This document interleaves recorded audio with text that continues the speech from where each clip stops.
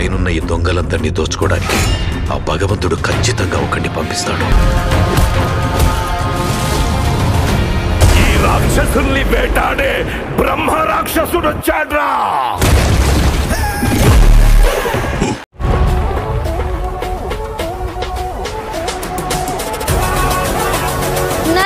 నరసింహ నందమూరి బాలకృష్ణ హీరోగా దర్శకుడు కొల్లిబాబి కాంబినేషన్లో తెరకెక్కుతున్న latest awaited cinema NBK one zero నైనవ సినిమా వస్తుంది. సాలిడ్ హైప్ ఈ చిత్రంపై నేలకొంది.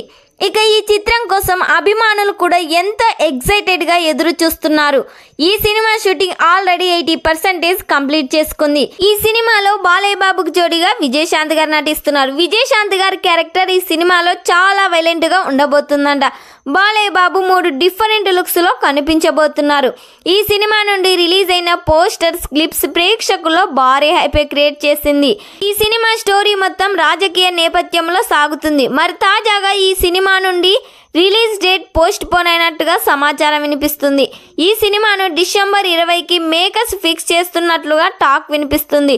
మరి ఈ సినిమా థియేటర్స్లో రిలీజ్ అయ్యి బిగ్గెస్ట్ బ్లాక్ బస్టర్ కావాలని కోరుకుందాం.